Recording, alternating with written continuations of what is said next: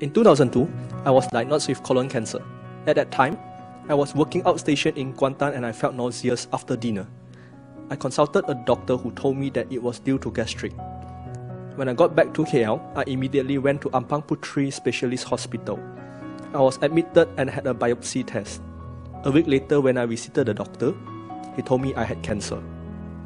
To be on the safe side, he asked me to perform another biopsy test, so I was readmitted into hospital. Four out of the 10 samples taken during the biopsy were confirmed to be cancerous. Without seeking a third party's opinion, I agreed to the doctor's suggestion to have an operation the following day. According to the doctor, I would also need to undergo chemotherapy three months after the operation. After the operation, my colleague introduced Elken spirulina to me. I have taken Elken spirulina since then. The best part occurred during my chemotherapy period, as I had to undergo six cycles a month. Normally, patients have to undergo a blood test to make sure we are healthy enough for chemotherapy.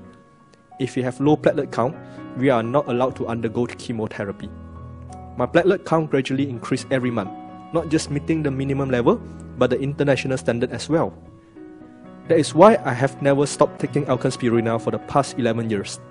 I normally don't count the number of tablets I take, but just a capful of spirulina, which is about 100 tablets daily. One bottle of 3000 tablets is for my own consumption. I'm all clear of cancer now. Thank you, Elken Spirulina.